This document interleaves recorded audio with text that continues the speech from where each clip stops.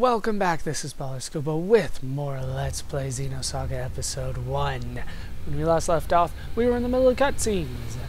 Let's continue those cutscenes as we look at what I assume is a planet, and it looks like it's being torn apart from the inside out. This doesn't look good for anybody that could happen to be on there. I would say we are joined by somebody, but we're not joined by anybody today. It is just me and cutscenes. And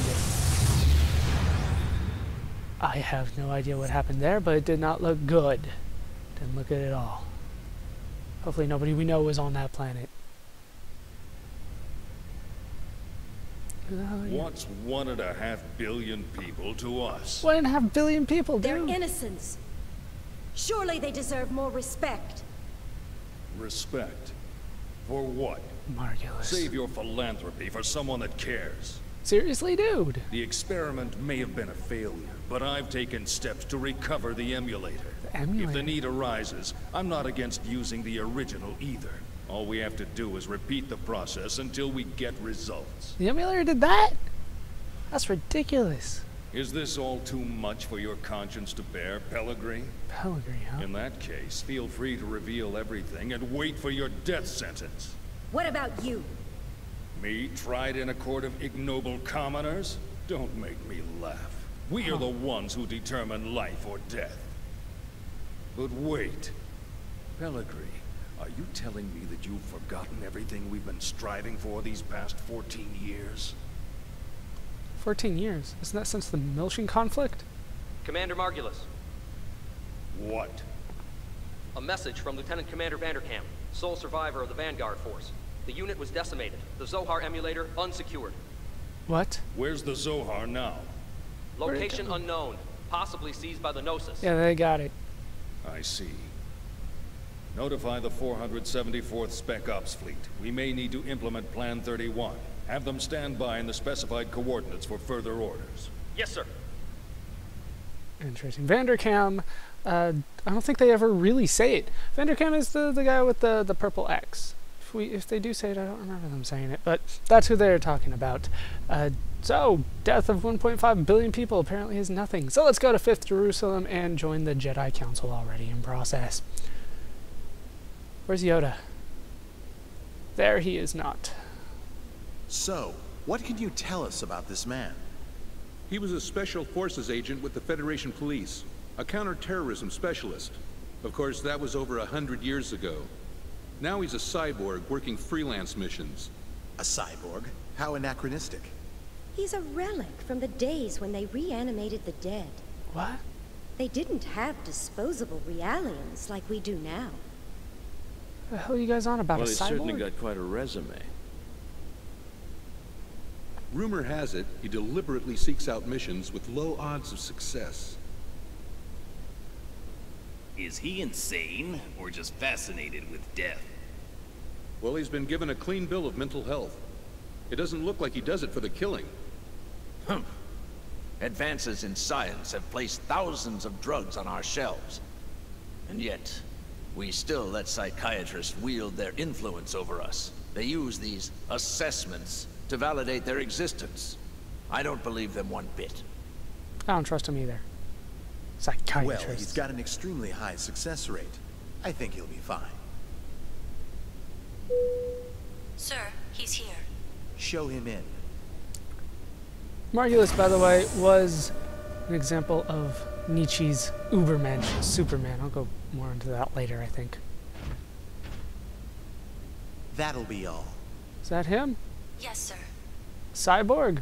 He's got he's mostly metal, it looks like now. Ziggurat 8, isn't it?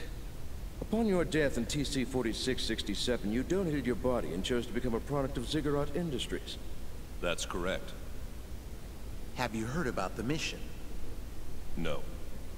Recently, we received information that a certain armed group has shown signs of resurgence. This same group was responsible for the events that took place 14 years ago. The UTIC organization? That's You- right.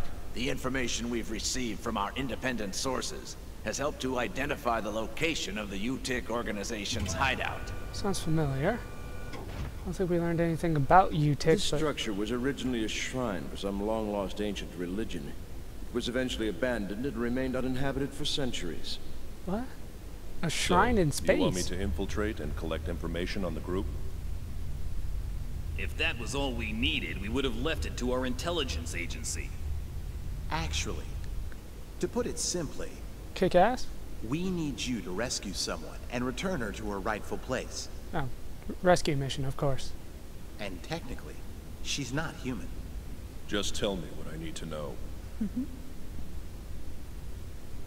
What? Why are you laughing? He sounds very professional. A child? Is she a civilian? She's a Realian, a 100 series Realian. Ah, You've heard of them? they were supposed to be on The Pueblo 100 Glinda. series observational realians, built specifically to combat the Gnosis. Wait, what? I've heard rumors of them, The little girl? but I didn't know they were disguised as children. Yeah, seriously, what the hell's going on here? Is this the first time you've seen the real thing? Yes. But isn't Vector already mass producing them? This is a prototype. It will serve as the model for all future 100 series observational units. So, what you're telling me is that securing this little girl takes priority over all else, right? It helps that you're a quick study. So, will you take the mission? A cyborg has no rights. I cannot refuse your request. What? I will analyze the situation and let you know what weapons and resources I need. Interesting. So I s- don't mean to demand any compensation, but may I make one request? Go ahead. After my return, I ask that you eliminate the neural memories residing in my brain from my previous life. That's What? not a problem. But it could be a difficult procedure with a body as outdated as yours. He doesn't look that old. as old. many synthetic parts as necessary. What an odd request. These days, Realians are clamoring for human rights, but here's a man who wants to become a machine. All right, we'll make the arrangements. Thank you. Yeah, we do get. You can get the specifics from her, Dr. Juli Mizrahi, later. I'm sure that name's not important at all. Juli Mizrahi. But we do get an interesting dichotomy here between Realians and this cyborg. Cyborgs have no rights. Realians do have rights. He was once a man, but died and then was resurrected with synthetic parts. Well, well. He didn't die in the line of duty. It says here he committed suicide. One shot in the head from his beloved pistol. oh, Did you oh. say suicide? how ironic. Can we entrust the 100 series to that man? What if his self-destructive tendencies arise? Not to worry. He's been equipped with a safety mechanism which prevents him from hurting himself or abandoning his mission. Of course he has. He's more machine than man now, isn't he? He doesn't even remember his name. He was brought back to life against his will. Oh, Once he replaces the rest of his brain with synthetics, he'll be a complete machine. Only then will he be legally dead. how ironic the guy that tries to kill, kill himself gets revived and has no choice in the matter because now he's a cyborg because he donated his body to a cyborg creating company of some kind. How are you feeling, 100 series Realian? Is the food here unsatisfactory? Do Realians eat? Even Realians require nourishment, you know. Apparently they do. Are the Federation's 100 series Realians so ill-mannered that they don't even reply to simple questions? I don't like that name. Well, my goodness, pardon me. And what would you like to be called, Miss 100 series Realian? I don't like strangers to be calling me by my name. Oh, she's Where are you planning on taking me? That, I'm afraid, is not for you to know. What will happen to me? You're going to help us out. Machines like you exist to be used. What happens to you after that, God only knows. Lowercase for Assuming God. you people even have a God, that is. All I can really do is seek out and find the Gnosis. I can't help you with anything. That may be true. But this part of you is a little different. We'd like to have a word with the man you have hidden inside of you. Kinky. Yeah, what, what, what is he In talking any about? case, you'd best be keeping yourself alive as long as possible. He will be arriving soon.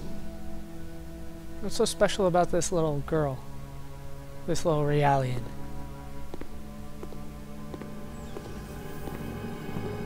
I'm not sure I understand. Mommy, I want to go home to the lab.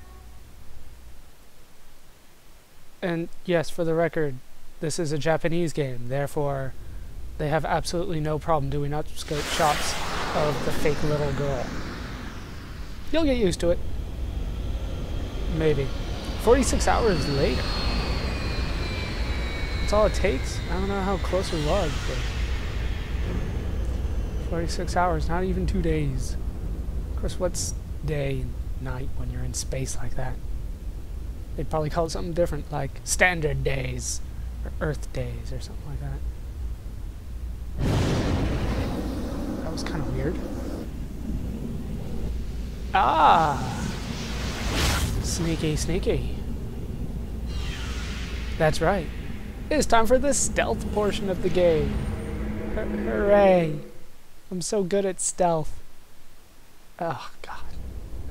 this is gonna be awful, I think. Let's see. The mission objective is to rescue a 100 series Realian. Now, where is she being held captive? I Don't want to cause a commotion unless I find the Realian. It'd be best to avoid unnecessary confrontations. So, in other words, don't get into a fight. But we do have a new character, so let's take a look at him. His name is Ziggurat 8. Uh, that will not be his name forever. Uh, just, just in case you guys don't follow along, but you should be able to just fine. Uh, let's take a look at his ether. I don't think he has any points. Yeah, he doesn't have any points, uh, but he's got my guard. Focuses his physical defense. Uh, that's what he's got so far. Is it set? Yes, it is. Could I use ether points? Uh, evolve. Will they even let me like look? Is there a way to look? No, I don't think there is. Unfortunately. So, that's it for Ether. He can up his physical defense. He is going to be pretty much a tank. You can tell by his HP. Holy crap, 400 HP at level 7. Ridiculous. Tech attacks. Uh, he has Cyber Kick and Lightning Fist. Cyber Kick looks awesome. I'll try to use it once in a while, but Lightning Fist is pretty much what I'm going to be using for the most part. Lightning, very, very nice. Very nice element at this point in the game. Uh, does he have anything that I could extract? He does. He has the Kobold Ring, which I can extract Evade plus 2 from. Why couldn't I do that before? With somebody else. Weird. And in terms of equipment, he does have the BMP 55SX. I have no idea what any of that stands for. Sounds cool though. He's got the cyborg. What does this even say? It says beam pod. It does an ether attack of 135%. It's line and a beam, so should there be something in, in the back, but that rarely ever comes up. But it's a beam attack, and that is technically an element. Uh, physical defense up thanks to V. I'm gonna say that's his, that's an O. Yeah, it's an O. Vol G10, blue ring, dexterity, white ring, agility. Wait, do I have to unequip? I think I actually have to unequip. Yeah, I've forgotten. I've forgotten how to use skill points. That is my bad. I'll try to remember that. Uh, you'll notice that he can't do anything with eggs, um, and we can't even look at the UMN. So even if I wanted to look at the database, I could not do it for now. All right. So um, I don't think I'm supposed to run. Can I walk? No, he just got loud as hell. Uh, I don't think I need to save at this point, so I'm just going to move on. How do I, there's a way, right? There we go. R2 will do it. Still pretty damn loud, I must say. So let us head over here. If I remember correctly, I want to blow these up. Yes, he somehow has the vaporizer too. Uh, and we can get a scope out of that. Can I blow this up? I can. Nobody seems to care or notice. And I have two Ether Upgrade S's, and I am going to use those right now because this is actually a fairly challenging part of the game. Uh, so I'm going to do what I can to make this easier for myself. So, Ether Upgrade S's, we're going to use both of them on Ziggurat here. God, I'm going to be... I might call him by his nickname later on, but try to keep it for, for his official name for now. Now we can use our ether points to evolve my guard, and we're going to turn that into recharge first and foremost. That is most important. HP recovery mid-level. Very nice. And we are going to evolve bodyguard again to body, well, no, sorry, upgrade my guard again to bodyguard. There we go, that's what I meant to say. Now we need to go and set those. Each of those carries a weight recharge, weighs two. I don't know exactly how that works, but whatever, we can still use all of it so we don't need to mess around with what we can and can't, I guess, hold on to, equip, whatever, whatever the phrase is for what you do with ethers. We don't need to worry about that just yet. As long as I... Actually, can I run through here? I don't think that's a problem. And I don't think there is anything else. We've got giant sword and shield eggs hanging out. And it looks like I've already triggered a cutscene. Cool.